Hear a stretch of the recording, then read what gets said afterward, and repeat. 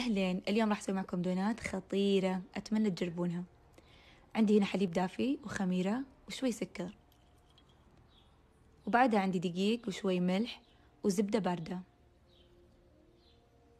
وبعد ما تخمرت أضيف عليها بيضة كاملة وصفار بيضة وباقي كمية السكر. وأحطهم كلهم بالعجانة. وهذا شكلها بعد ما عجنتها راح تكون لينة مثل الزبدة وما تلصق باليد وأخمرها. وبعد ما خمرتها راح أفردها وأقصصها أما بالقطاعة أو كوب أو أي شيء. أهم شي تكون سميكة شوي وأخمرها مرة ثانية وأقليها بزيت غزير. وعندي هنا الحشوات طبعا اختيارية سووا اللي يعجبكم. أنا عندي هنا نوتيلا وزعتر صراحة mix رهيب. وعندي القهوة المختصة. وشوفوا معاي الدونات كيف من داخل. هشة ولينة ومفرغة أتمنى تجربونها. وعطوني رأيكم.